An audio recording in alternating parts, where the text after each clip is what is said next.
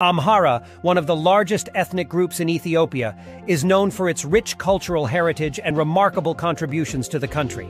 One of the most significant attributes of the Amhara is their language, Amharic, which serves as the official language of Ethiopia and is spoken by millions of people worldwide.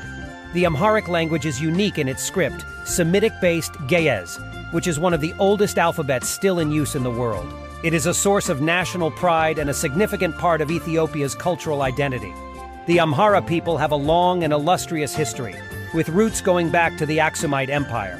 They have produced many notable scholars, artists, and statesmen contributing greatly to Ethiopia's political, social, and cultural life. Amhara's traditional music and dance, particularly the Eskista, a complex dance form known for its intricate shoulder movements, are well respected and admired.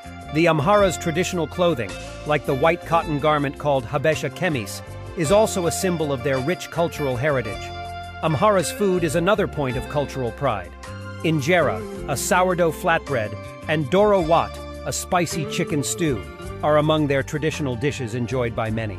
Amhara's religious practices, primarily Ethiopian Orthodox Christianity, have greatly influenced their art, architecture, and literature, notably the rock-hewn churches and religious festivals like Timkat.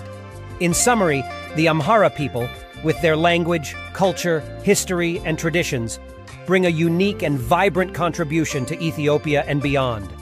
Their influence continues to shape the country's identity and unity, making them a significant part of Ethiopia's diverse tapestry.